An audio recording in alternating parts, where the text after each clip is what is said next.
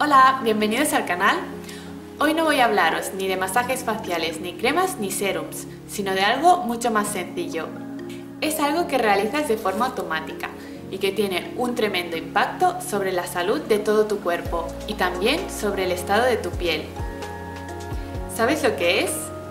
Pues es la respiración.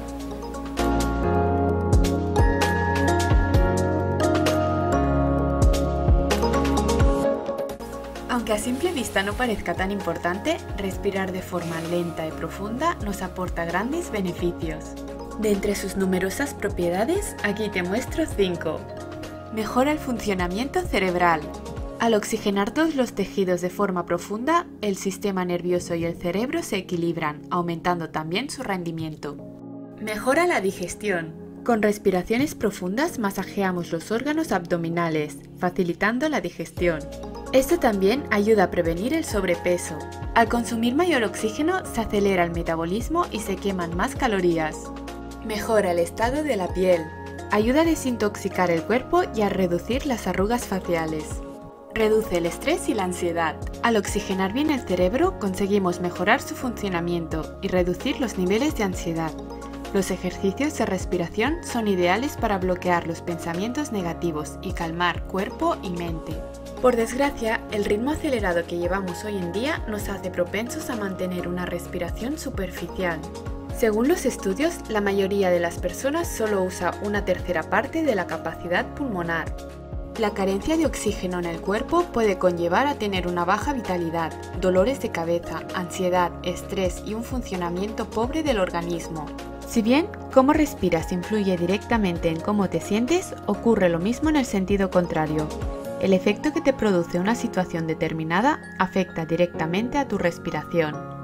La buena noticia es que podemos hacer uso de la respiración a nuestro favor, tanto para calmar nuestras emociones como para llenarnos de energía. Para una correcta respiración se debe inspirar siempre por la nariz y no por la boca.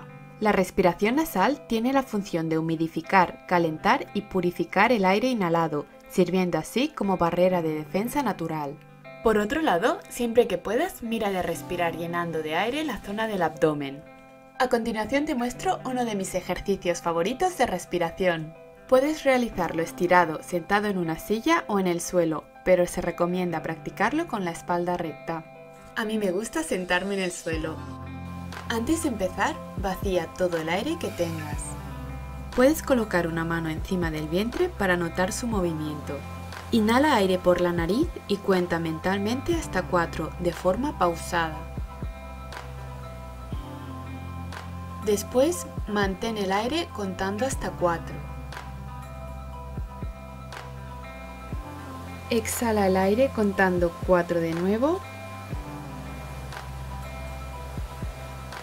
Y finalmente, mantén la exhalación 4 segundos más. Así has completado una serie.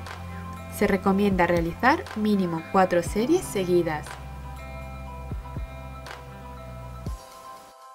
Para los que queráis profundizar más en los beneficios de una correcta respiración, os recomiendo el libro Tu primera sesión de respiración consciente de Alejandra Vidal.